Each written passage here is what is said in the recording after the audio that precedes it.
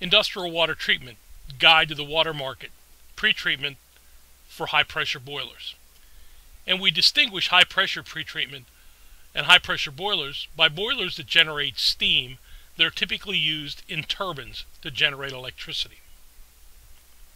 In pretreatment, water from rivers, lakes, oceans, and wells come into the pretreatment plant, and the first step is typically clarification, where suspended solids are removed. From there, into sand filtration and or carbon filtration. Sand filtration will remove finer particles, and carbon filters will remove organics. A next step can be ultrafiltration, where even finer particles are removed from the water.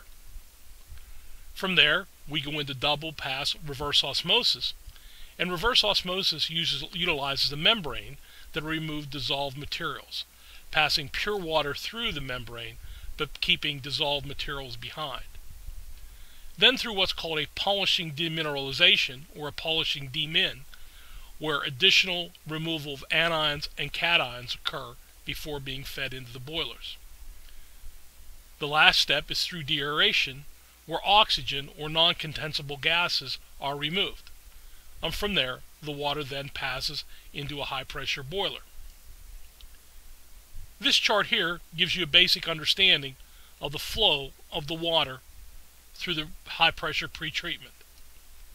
In this chart, we'll go through briefly clarification, sand filtration, carbon filtration, ultrafiltration, reverse osmosis, polishing demins, and deaeration.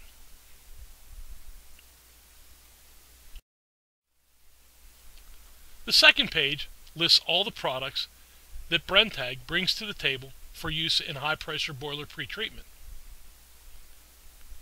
Always consult a water Brenntag water additives manager for guidance when dealing with high pressure boilers and high pressure pretreatment. Again, high pressure pretreatment for high pressure boilers.